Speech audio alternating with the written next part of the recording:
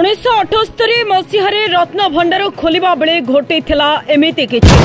ସେତେବେଳେ କାହା ପାଖରେ ରହିଥିଲା ଚାବି ଏବଂ କେଉଁ ଅଳଙ୍କାର ସବୁ ବାହାରିଥିଲା କେତେ ଅଳଙ୍କାର ରହିଥିଲା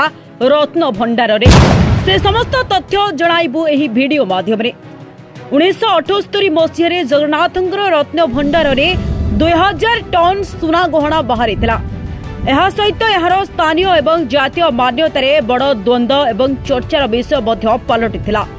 ଜଗନ୍ନାଥ ରତ୍ନଭଣ୍ଡାର ଖୋଲିବା ସମୟରେ ବହୁତ ଗମ୍ଭୀର ଘଟଣାମାନ ଘଟିଥିଲା ତାହା ଅନୁସାରେ ଏହାର ଯାହାକି ରତ୍ନଭଣ୍ଡାରର ତଥ୍ୟ ବ୍ୟବସ୍ଥାପନାରେ ଅସ୍ଥିରତା ବାହାରି ଯାଇଥିବା ସୁନା ଗହଣା ଏବଂ ସ୍ଥାନୀୟ ସରକାରୀ ଏବଂ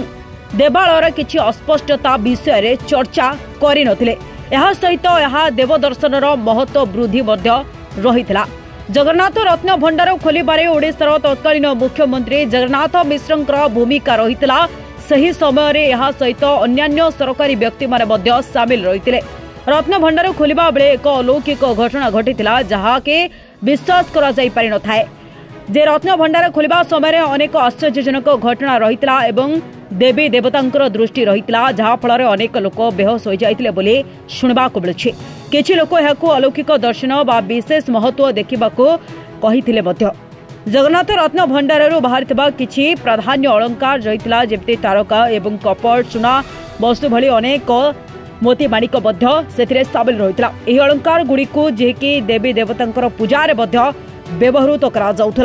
जगन्नाथ रत्न भंडारर चाबी तत्कालीन मुख्यमंत्री जगन्नाथ मिश्र पाखे रही